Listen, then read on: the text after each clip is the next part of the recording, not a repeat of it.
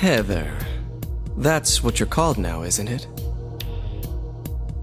And who are you? The name's Vincent. Don't forget it, okay? I'm on your side. Hmm, So you say. But how do I know you're not with her? Her? You mean Claudia? Please don't lump me together with her. She was brainwashed by that crazy old hag. Well, I guess crazy old hag is a bit harsh. She was your mother after all. My mother? What do you mean? You don't remember. so Harry didn't tell you anything. I guess he hid the truth to keep you on his side. that figures. Uh huh. He is a pretty sneaky guy. Don't talk about my dad like that! Sorry. I apologize. Please, calm down. How do you know my father anyway? I know everything. I know about your past, too. Then tell me what's going on! You don't even know that? That's why I'm asking. If you know everything, then tell me how I can put an end to this. Not yet. Why not enjoy yourself a bit longer? Enjoy? I feel like I'm going crazy. Doesn't this place get to you at all? Oh, it gets to me all right. I find it most fascinating. Wait! I'm not finished talking. I knew you were on her side. How do you figure? There's something wrong with you, too.